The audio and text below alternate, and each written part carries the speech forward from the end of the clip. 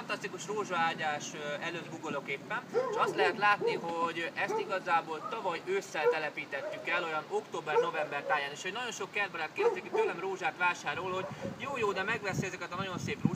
rózsatöveket, amelyek sokszor már a kiszállításkor ugye elérik ezt a magasságot, aztán természetesen ugye ezeket visszavágják ugye ősz végén vagy kora tavasz, hogyha most egy picit közelebb jönnek, akkor itt lehet látni, hogy ezeket a rózsákat annak rendje és módja szerint ugye hol vágtuk vissza. Kérem szépen itt vágtuk vissza, tehát éppen hogy csak 10 centivel a, a föld felett, ugye 3-5 rügy környékén. És hát igazából most május vége van, és ugye március elején lettek ezek visszavágva, február végén, március elején is hát látszik, hogy már micsoda virágpompával örvendeztetik meg itt a kedves kertbarátot. Tehát igazából szerettem volna mindenkinek megmutatni azt, hogyha akár ősszel, akár a vegetációs időszak bármely részében rózsát telepít, akkor lényegében azonnal virágozni fog, és már a következő vegetációban ilyen fantasztikus, dús,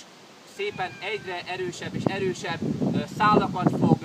hajtani, és gyönyörű, nagyfejű rózsák fognak az ő kertjében is virítani, amelyek aztán természetesen, hogy tovább erősödnek, egyre inkább meg tudják majd tartani saját magukat, és hát kérem szépen, így lesz mindenkinek egy nagyon szép, egybefüggő, gyönyörű rózsaágyása.